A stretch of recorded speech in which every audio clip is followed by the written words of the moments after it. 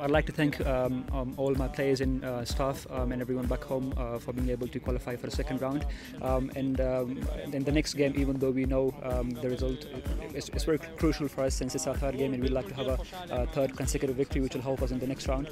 and even if we qualify for, for, for, the next round, we'd like to think uh, to keep uh, things simple as we did uh, in, in, in, the first round and hopefully we'll get the same result. It's very good to see experienced players like um, uh, Ibrahim Zadran and um, uh, new players like Mohamed Zadran performing well. Uh, they had a very good good partnership. It's a good sign for the team going forward, um, and we hope to continue the same momentum.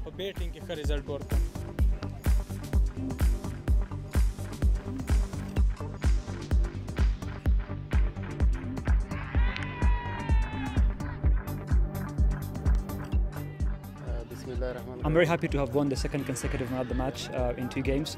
Um, as you can see, uh, the wicket was very good for um, spin ball. There was a bit of turn and I just kept it simple.